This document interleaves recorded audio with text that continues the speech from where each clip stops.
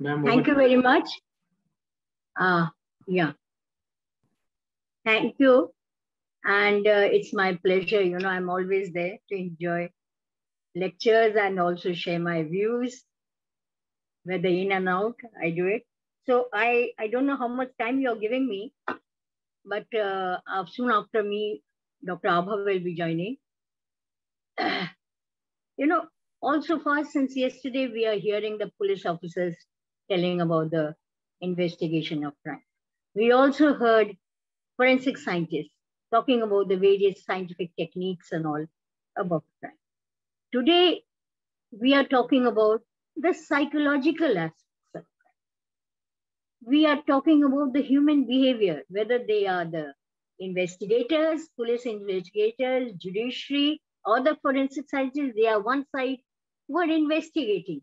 Whom are you investigating? You're investigating a man who had committed a crime. And any an act of crime have two individuals or more than two individuals in there. Criminal, actor, and the active. The victim and the victimizer.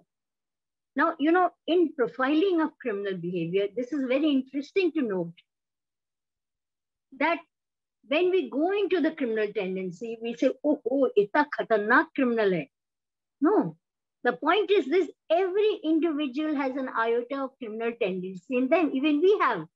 We are professionals, but we have also.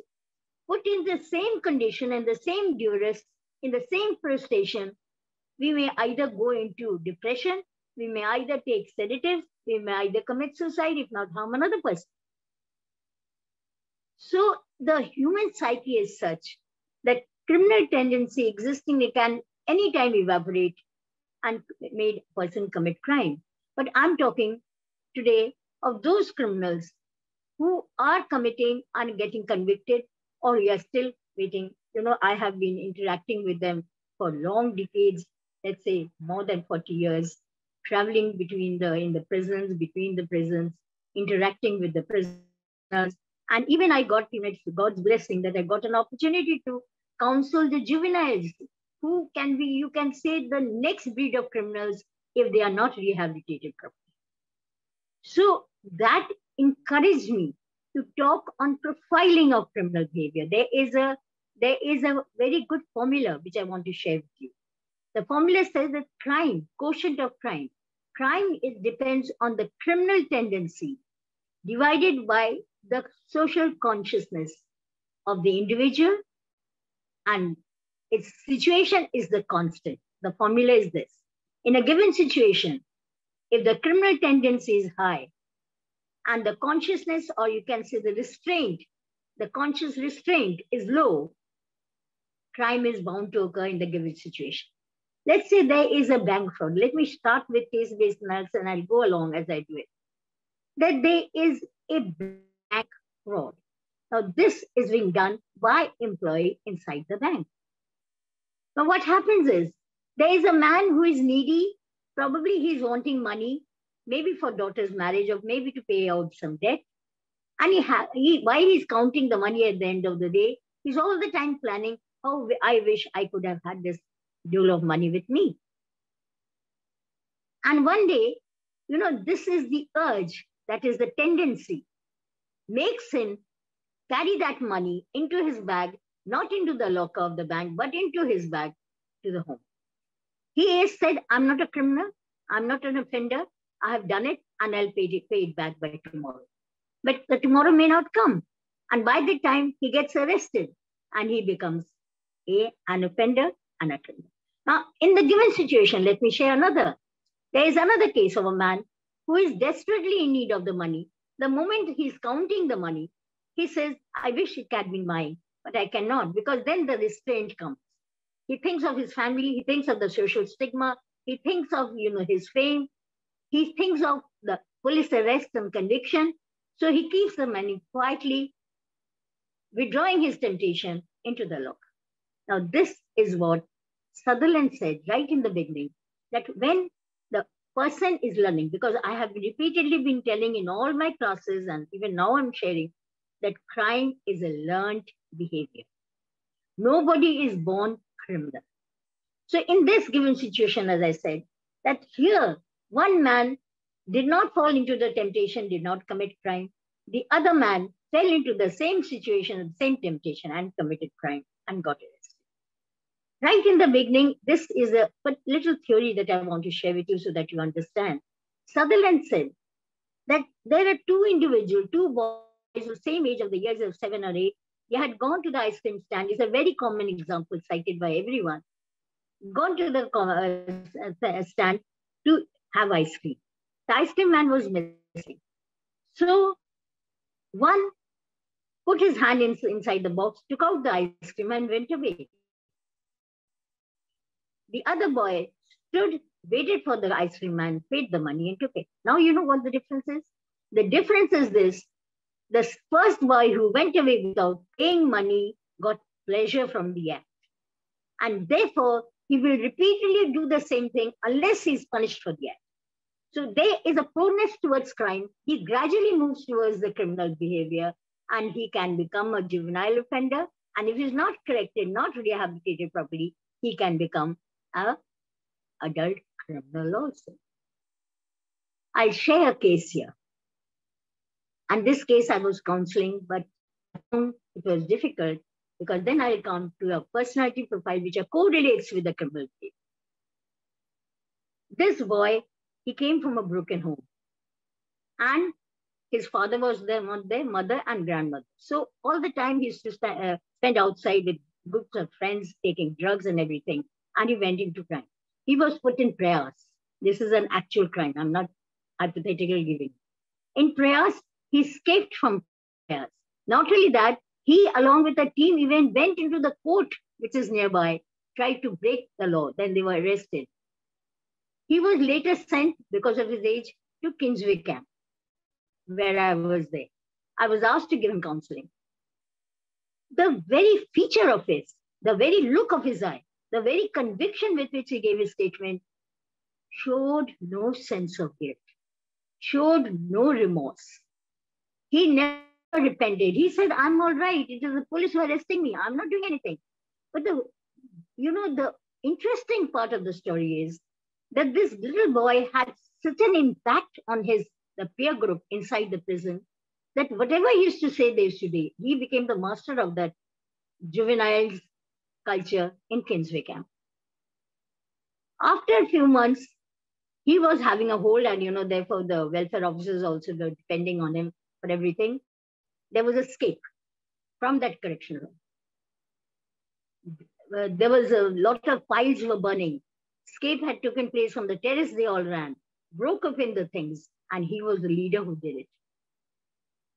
He was not able to be caught, and when he was caught, he was put behind in, you know, in uh, another jail of special court there. And later when he got released, he was bailed out because three years he can stay. The first thing he did, he, along with his members who were outside, he went into a jeweler's shop, killed the wife of the jeweler, ransacked the house, and got arrested. And then he was placed in Tihar jail as a young offender. Now, such a person. I went on, you know, then I was profiling him.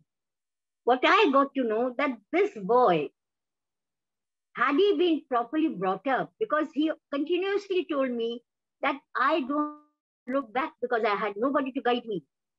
Police should leave me whatever money I've stolen openly used to say, give that money back to me, I'll start a new life. There was no repentance. These type of people, when I try to profile, I find they are high on the psychotic. I'm okay, you're not okay. And this, you know, whenever you study the criminals everywhere, cases, whatever, even in the organized crime, high scams, petty offenses, you will find everywhere this feeling prevails. I'm okay, you're not okay. And as long as this prevails, the repentance doesn't come and it's very difficult to reform.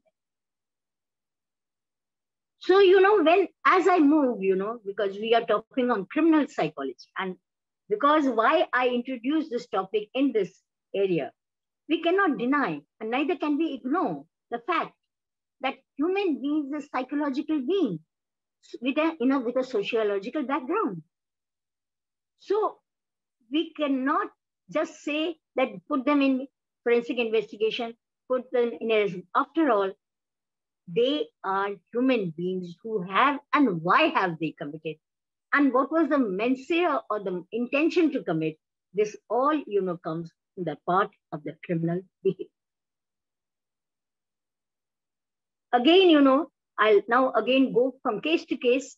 So you'll see then in the latter part, I won't take much time. I'll go into the profiling, the scale that I've developed and is working effectively.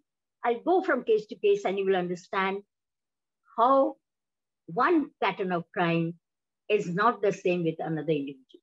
A individual who commits same crime over and over and over again, like a serial rapist, serial murderer, they are known as perverts. Somewhere, you know, they are psychotics and they do it without any. But generally, generally what happens that criminals, they commit crime in their own way.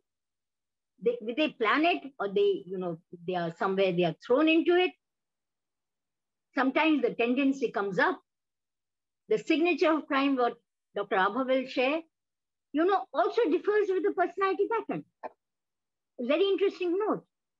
Forensic scientists, when they go into the investigation of crime, often and on they will be interrogating, interrogating, interviewing, testing whom? The criminal and the victim. There against the mindset has to be studied. Now here I want to share another case. You people will very popularly know the case of uh, this uh, Hyderabad case, you know, where a girl, she came down from the, she was waiting at the bus stop. Probably she was waiting for her sister to pick her up. Her own vehicle had broken down. In the meantime, three boys came. I just want you people to recall so that, you know, I can then, you know, passively follow the thing. Because I always, when I see a criminal, I try to study the mind of that person. And, you know, three boys or three, you can say, adolescents, youth, approached her, they gagged her, they kidnapped her, they took her to a distant place, they raped her. Not only that, they burned her body and put the body down and went away. It created a lot of sensation in Hyderabad. Police went in search, and you know how? There were a lot of clues left. This is something very interesting a person who is committing crime, doing it intentionally, and they have no regrets, they will leave clues behind, which enables the forensic scientists and the police to understand, you know. But not always, not always. Here, what happened, police from the slippers that were lying down, certain clothes that were lying down, the body was burned, half burnt. They could identify the body. The sister came and said, This is my sister's body. Police then started tracing the accused, or you can say the, the boys. They were not criminals at that time. The whole case, they got it, the clues, and they arrested the three boys. And what happened in that crime scene? Again, the whole incident was reconstructed. They were brought. And they were brought and they were asked to replay what has happened. And they did it. It was not forced, it was not coercive. They were forced. They were, they were asked. And they did it. They said, this is how we did it. And they were with glee. They said, this is how we did it.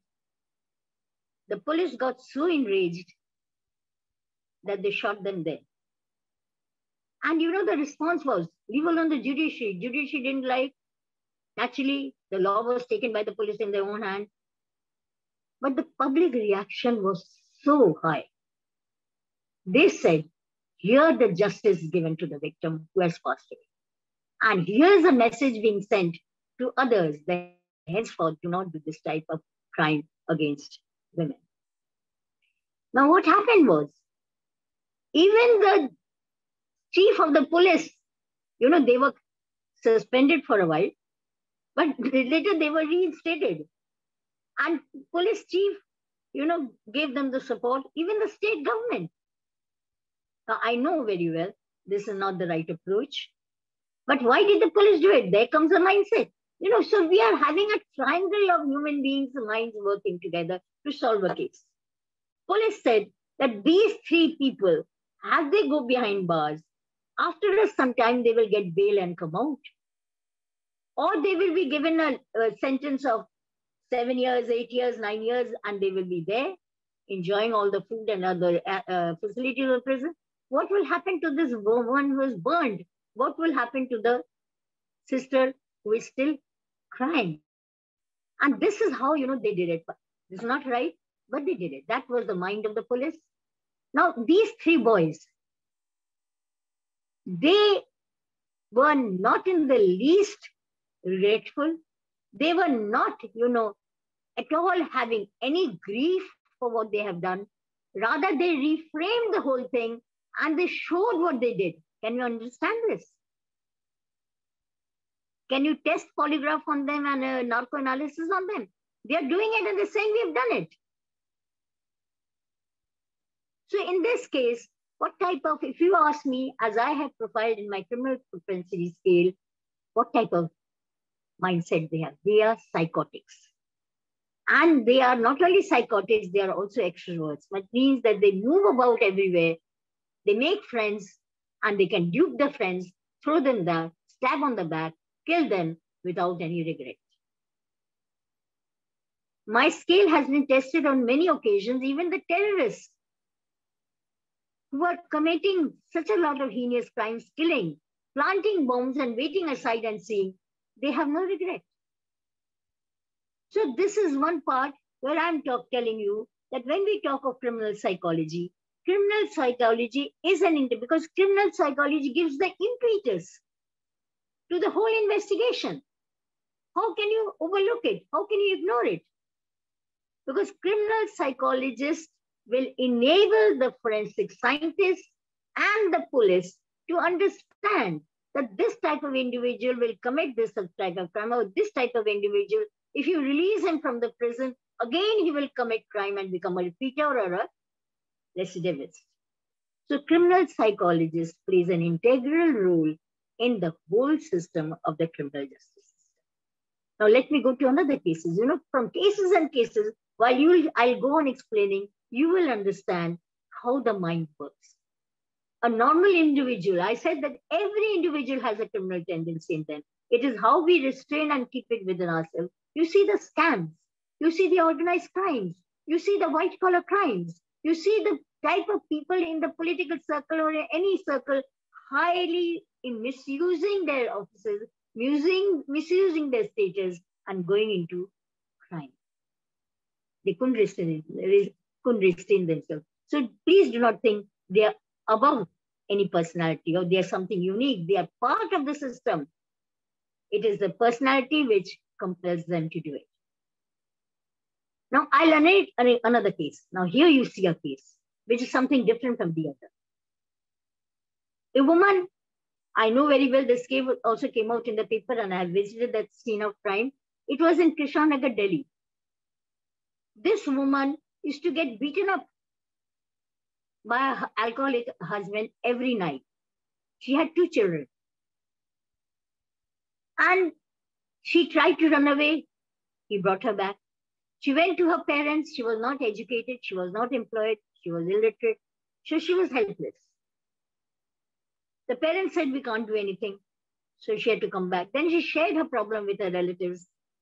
They also, you know, she sometimes said she, they said, We can't do anything for you. So she decided to do something on her own. She became desperate.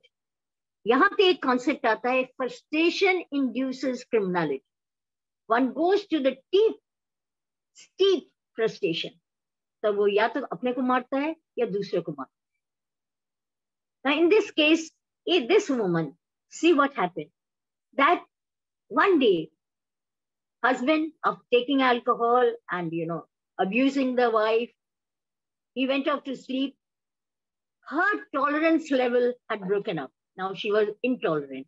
Criminal tendency has gone up like anything. The children had gone off to sleep. She put a pillow on his face, suffocated him, or gagged him to death. After doing so, she pulled his body somehow herself and pushed it into the you know, the, uh, the bed which has the baggage, the, the below thing for the night, and she slept on the bed. And the body, dead body was in that, you know, box of the bed. In the morning, the children started asking where my father has gone. So she told them that you all go, go to school, dress up and take your lunch box. Very comfortably, very calmly, she was doing the job. And she said, Your father has gone to the market. The eldest son became certain suspicious. He looked at his mother. She didn't say anything. He went away. Now, what the lady did, there was one person who used to see, you know, nearby neighbor. She used to share her problems with him. He came and she said, This is what I've done at night. Now, how to get rid of the body? So, you know, they both of them pulled the body and took it to the water tank on the terrace and dumped it in. And then, you know, there's another thing, you know, this is like it going up and then going down. This very lady started weeping there, crying. So fast she was putting up her strength and did it. But then the pain was so acute that she broke down and she went on crying. To the extent that when the children came, she told them this has happened. She confessed to the police when the police came in. She got arrested and she said, I was finding everything unbearable. So I did it. Now, you know, this type of personality, if you ask me to describe, according to my criminal propensity scale, she was an introvert who was putting all her problems in herself. She was helpless and hapless. But at the same time, she was planned the crime. देखो, एक जो है crime plan नहीं करता है spontaneously करता है। And the other one plan crime in such a manner that the clues are not left the traces are not left police also find difficulty in tracing the cases even the forensic scientist you know they find difficult in the investigation in studying the crime mind in studying the clues because this person plan it in a very acute manner She was arrested, no doubt. And she had gone to the bar, but and the children uh, behind bar. But the children were also sent to the gun. But the cases, now this is one where a person is pushed into crime. So according to me, I will not teach her, treat her as a criminal. I'll say she's a victim of this situation. She's not an offender. She's a victim of her own situation. This is known as victim's victimization, where the victim justice system should take another look. Again, I'll come to another, you know, now I will share with you a very simple case. This case is of a boy. Now you see, often it so happens when you one masterminds, and when I'm sharing all these cases, you people go on recalling in your listing your mind. When one masterminds a criminal pattern, organizes groups to commit crime, organizes big scams, they definitely have to have a lot of intelligence. Because intelligence correlates and corroborates the pattern of crime. Now here is another case where I will tell you that how this boy got into trap.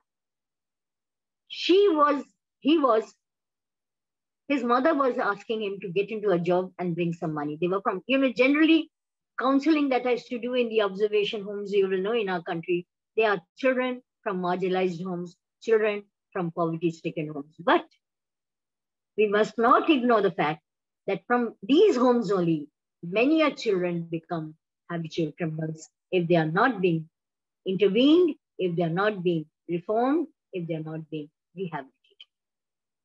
Now, in this case, this boy was continuously being harassed by the mother saying, bring money, bring money, get into a job, bring money. He was not that highly educated, he was semi-literate. So media also, friends, there's a lot of damage. As you are hearing many of the people saying, you heard Dr. Ruchi saying that media often plunges into disclosing things which should not be disclosed. So where the accused becomes the victim and the victim becomes the accused according to the projection of the social media. Now here what happened was that this boy was continuously listening and hearing about kidnapping, blackmailing, becoming rich all of a sudden. So he said, why not I try to do it? So you see, now see the scheme of his. He was tracing a boy who was his neighbor and who used to call him as big brother. So he said, why not kidnap this boy? So one day he stood by the outside the school when the boy came. He said, come, I'll take you to your uh, uh, uh mother. Here is a chocolate, come along. And he gave the chocolate, took the boy aside in a distant, remote place. And from his mobile, he rang up the police to say, he rang up the family, sorry, family to say that your son has been kidnapped. You come with this ransom and release him. Now you see, I make an emphasis that he did it from his mobile. They traced the mobile and they came to the spot where the boy, by this time, he was sleeping, having a nice girl. And the, this one, the juvenile offender, was waiting for the police and family to come and give the ransom. The family came with the police. The juvenile got arrested. So when I was counseling him, always I saw tears in his eyes, a remote look, a vacuum, a vacant look. I could very well understand that he once again, the moment he moves out from this home, he will land into crime because he's an easy target for the gangs and the goons and even elderly, elderly gangs, mafias, peddlers, drug smugglers. They use these children for their jobs. So innocent, he didn't know that he was going into crime. He thought he will get easy money. So this is another type of person who you will address not at all, at all a psychotic, not at all a psychotic, but he was an introvert and he was a neurotic, but not highly neurotic. He has just entering into crime. And how we prevent it? Through my counseling and through my access to the superintendent and others, I said, give him something to work on. And he started learning stitching and sewing along with other inmates. Later, he joined them and he moved to another place and he got rehabilitated. So such children need intervention. Because today, whatever we see in the criminal behavior of any adult, we always keep in mind that they were indulging in crimes over and over again. There was nothing to prevent them. Now, I again go to another case, another case, because these are all fulfilling my, my strategies, my talk on the criminal propensity scale that is analyzing the criminal behavior. This is another very renowned case of Vive, uh, Vikas Dubey. Vikas Dubey, from young child, he had a feeling that his father was a pradhan, so he can do anything. So he used to, you know, mobilize groups and used to go about teasing, go about, you know, uh, uh, taking uh, uh money or whatever it is, you know, from the villagers. He became a sort of fear phobia for the villagers, all because he enjoyed power of his father. Gradually and gradually, he started coming into extortion of money, stealing and robbery, teasing. He got married also. He had a family. He got arrested. This is the unfortunate part of our criminal justice system. Also, I have no hesitation to say that this person as a young offender and even adult, he was continuously getting bail and coming out and going back. So for him, jail became the second home. And moreover, he started manipulating and organizing crimes inside the jail, which has happened often. You hear in Tihar jail, it has happened in the recent past. Now this man, because Dubey, every time any party came, you know, they started using him for getting vote banks, for starting and coercing people to give votes. So unfortunate. He was highly intelligent. He could have been used into some productive job. but because of his allurement of for money and for power, he was going close to the power. Political parties were using him as a scapegoat to collect votes, and he enjoyed that he didn't mind getting into prison. He didn't mind uh, committing crime and he became a repeater, a recidivist, habitual Finally, I think I just mentioned to you, you know better, I, when I mentioned the name, that again in one crime, he did it, collected money, murdered, and he ran away, and he was got arrested by the UP police. He was brought from Kanpur while he was brought going to be brought from Kanpur to Lucknow. They say, but I've observed the thing on the media, on the TV, that he ran out from the car saying that I'm going for my uh, nature's call. And while he ran, slippers fell down. He ran. Police shot him from the.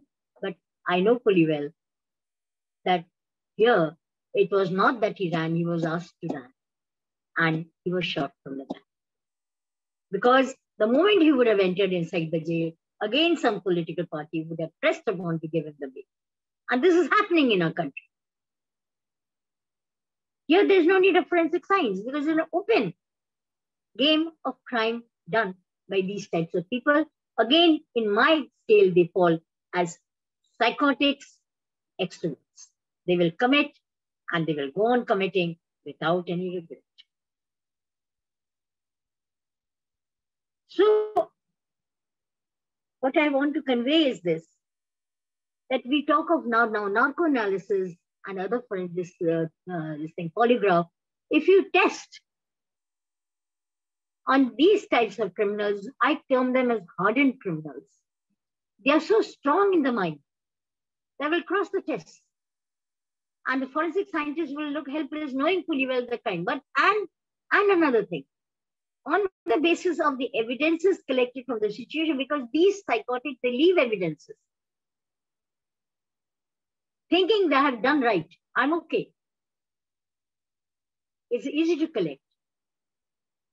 And they can pass all tests also. So, criminal behavior as you know, repeatedly criminologists are studying, we are researching, you will find that a person will commit a crime different from another person. Or when you know people mobilize and go into a group, there's brainwashing. Ideology becomes like in the case of terrorists. Terrorists say we are not terrorists, we are poor man's friend. Okay, but they are so mobilized. Their brain is so washed. They are so headstrong with their ideologies that can mix and gel with people and they can again, you know, throw people asunder. Recent case, very recent case, which is still going around the country and creating a lot of discussion, lot of social divide. It is of the tailor who got beheaded by the terrorists. Now, I don't want to go into religious discussion, but I want to say these two people who had done it, they are so strong in their mind that they are doing right. Because they have been trained like that. It's difficult for me as a psychologist to intervene and say, no, you're wrong. That wrong should have been put right in the beginning.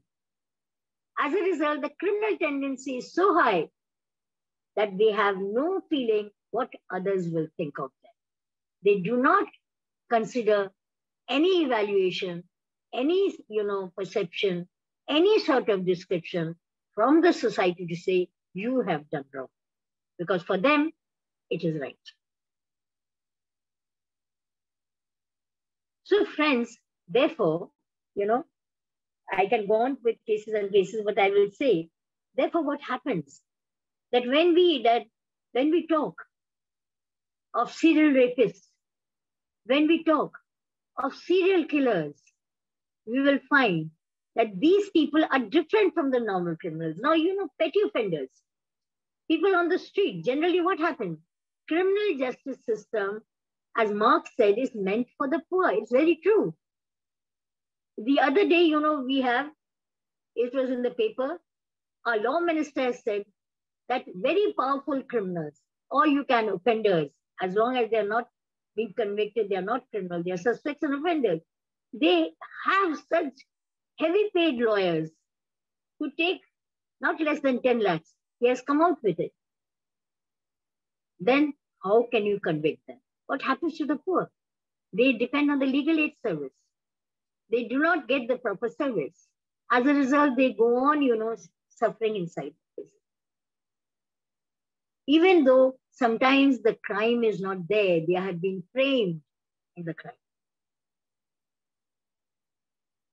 So the need of the hour is that now there should be a formidable, a cemented, a built up and improved system where all the subsystems should work together, including the, you can say the criminal psychologist or the forensic psychologist, because after all, we must measure the mental behavior, the mindset, the psyche, not only of the criminal, also of the victim.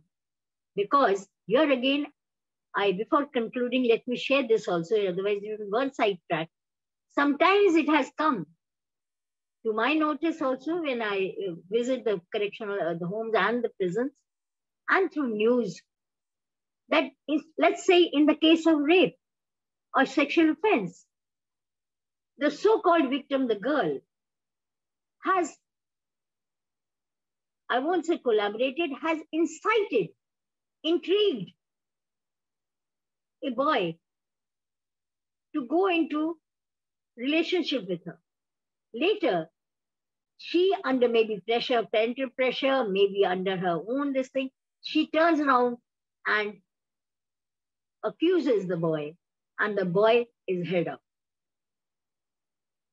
This has happened, Dr. Abha will bear with me, in Amity itself. Engineering college department, a boy had two years he was suspended from the department. He lost his work he lost his studies. Later, it was realized he was framed. But do you know what has happened to this boy in the meantime? He has gone totally into depression. So, therefore, I close my thing by saying that this is not the end. This is the beginning. We have to go on striving that if we really believe in victim justice system, if we really believe in the criminal justice system, that the criminal is not always the criminal, can, can be the victim of the situation. The actual victim, the victim that you occur may be the criminal who has conspired and plunged her behavior, her thing to frame the person whom we are seeing as a criminal. The person who's a criminal is a victim in the given situation. Putting all these things aside, we as forensic psychology or criminal psychology, what we do we discern, we distinguish, we try to, uh, you know, try to describe that here is the person, this is the signature of crime, this is the type of crime the person is doing. Therefore, there are correlates. This is what I'm trying to convey in the end. There are correlates between the personality, the attitude, the emotions, and the upbringing, the quality upbringing, the social background, the class or the race the person belongs to. These all contribute to the criminal propensity of the person. And the higher the criminal propensity, believe me, until a proper intervention is done, the person is bound to commit crime and crime and become a habitual. For him, it's no issue. So I think I have shared. Any questions here?